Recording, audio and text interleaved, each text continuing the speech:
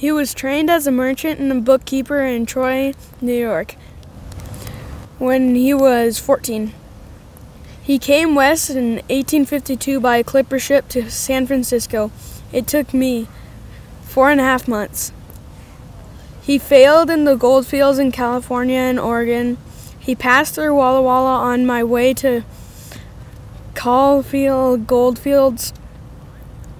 He returned to Dalles after hearing of all the Indian killings. Part of the trip was on foot because the natives stole his horses.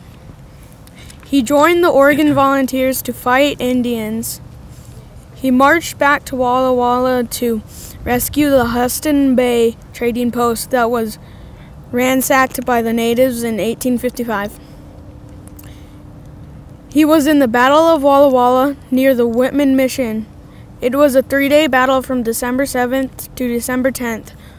When re- reinforcements arrived, and he saw very few natives the rest of the winter. He was at the 1855 and 1856 treaty signing with the Indians. October 1st, 1858, he was the first civilian postmaster of well, Well, it doesn't. school, man. No, right there. Wa- Walla Walla. Of Walla Walla. I ran a store in Walla Walla selling 30,000 of goods in 1859 and he still ended up 9,000 in debt. Not all the farmers and miners could pay their bills that year. He left Walla Walla with my partner Christopher Higgins and our clerk Frank Woody. We left Walla Walla with a pack train of 76 animals carrying merchandise and the first safe to enter Montana via the new Mullan Pass Road to Missoula. There, thank you. Now, Hannah, you know a little bit about your grandmother.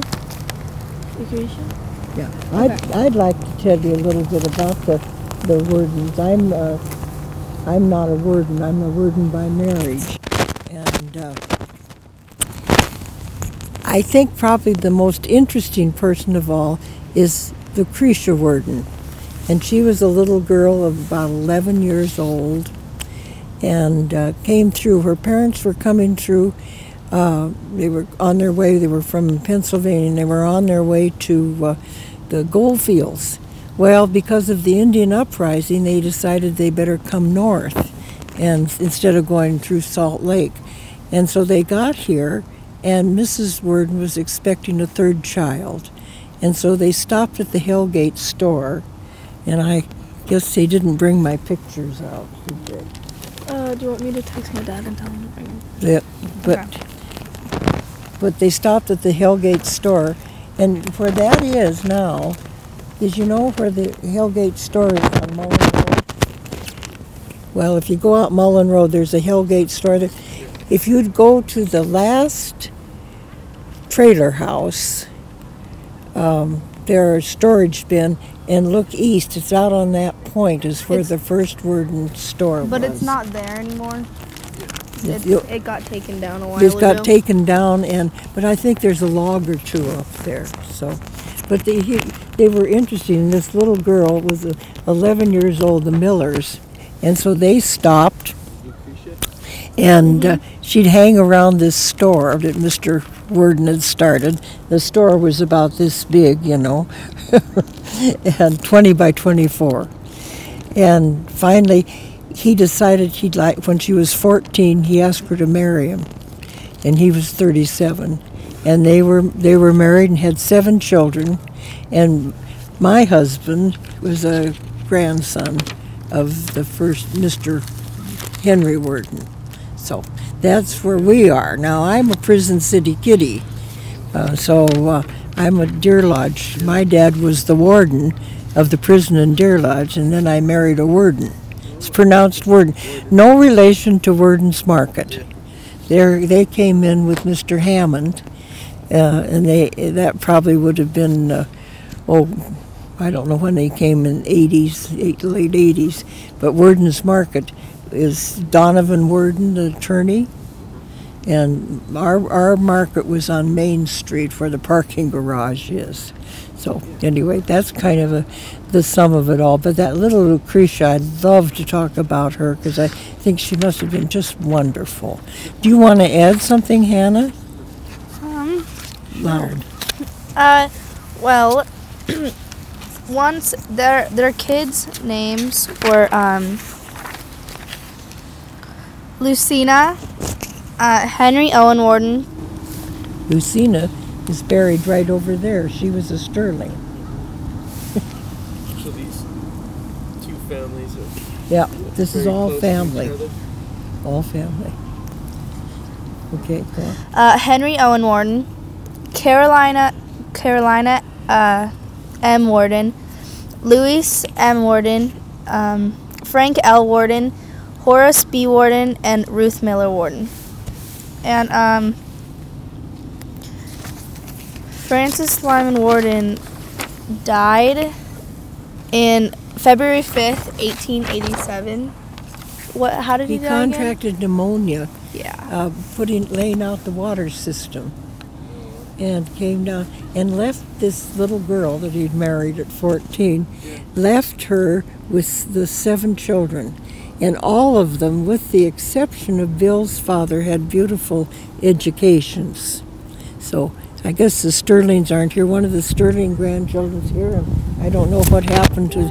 I'm I'm from Deer Lodge, so but uh, they they're supposed to be coming along. But Mr. Sterling came in with Hammond, and he Hammond was the big gun, big gun. Mr. Robinson and I speak at Leadership Missoula, and he's always getting up talking about Mr. Hammond this and Mr. Hammond that. So I said, "Would you like me to tell you about Mr. Hammond?" And he said, Well, it doesn't matter whether I want you to or not because you're going to. A.B. Hammond was a handsome, handsome man. Came in with the McLeods and all. And uh, he was crazy about this Lyde Catlin. And Lyde Catlin wouldn't give him the time of day. Well, God, he was just half frantic over this, you know, because he loved her so. Well, the Eddies of Eddy Avenue fame seized upon this opportunity to bring their niece Florence out. So Florence comes out, and they set it all up. Well, the day of the wedding, now Aunt Ruth, who's right over here, Aunt Ruth tells me that what happened, she was 11 years old, she's at the church. No A.B. Hammond. The church is full.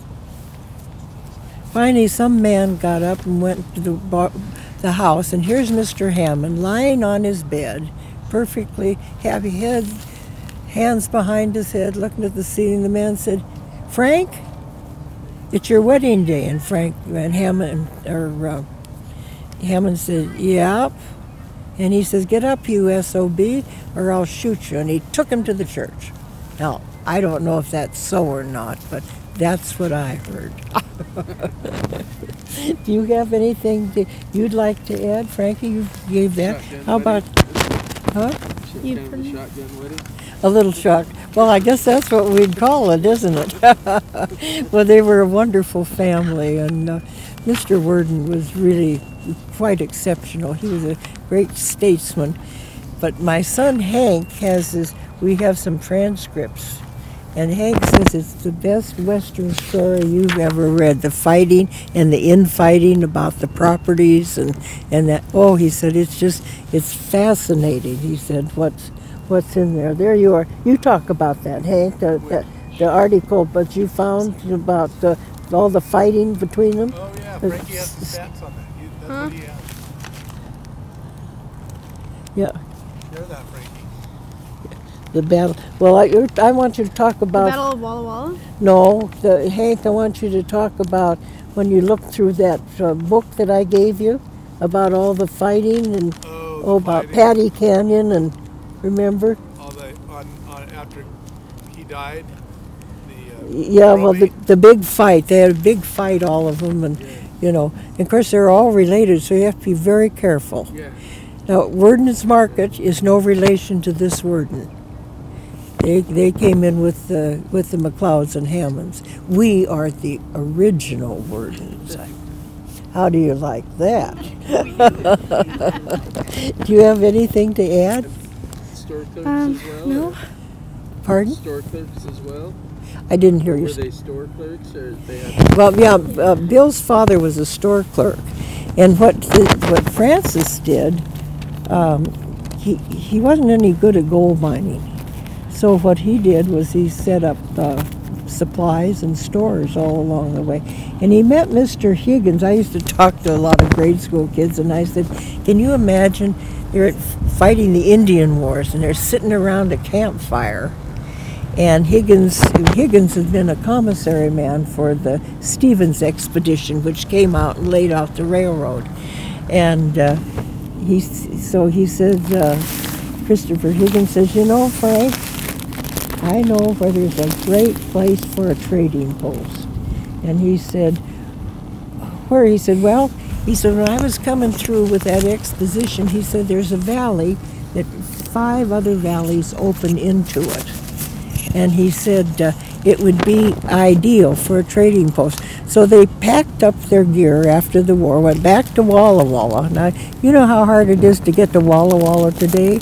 Can you imagine coming from Walla Walla with 76 horses? Is that what you said? A pack train of 76? Can you imagine that?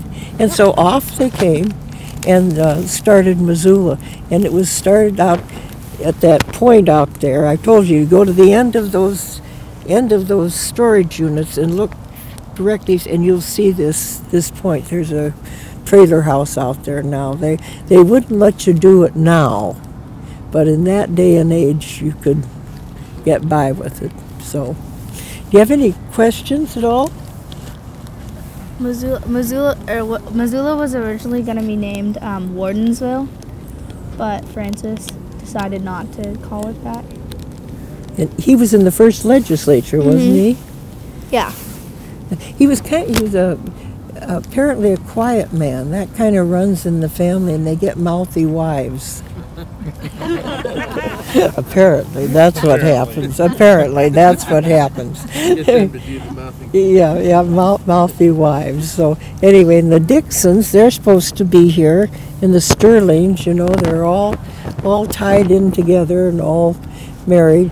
I know several little stories, but I don't think I'll tell them since the other people are here. When they're not here, I tell stories on them too. But we'll skip that today. so, any other questions? Well, this this has been a great program, hasn't it? It's a lot of fun and.